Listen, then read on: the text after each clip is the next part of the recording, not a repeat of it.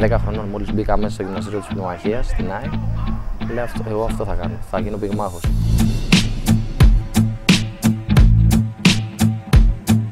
Δεν γίνεται να μπεις μέσα στο ring, ε, να έχεις τον άλλον αντιμέτωπο να παίξεις μπουνιές και να είσαι φλωρόπεδο. Δεν γίνεται. All I need to destroy a soloist or group. I put it to your boy, hope you got the scoop. Biggie Smalls, Τα περισσότερα λεφτά τα πήρα με το... Όταν έπαιξα για το WBO με τον Ρικάρδο Δόρες που ήταν pay-per-view αγώνας και είμαστε ακόμα είναι από τον Μπακιάο με τον Μοράλε.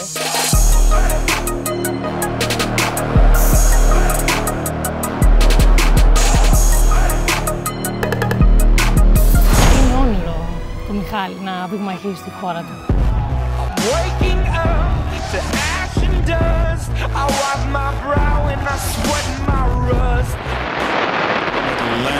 City, New Jersey.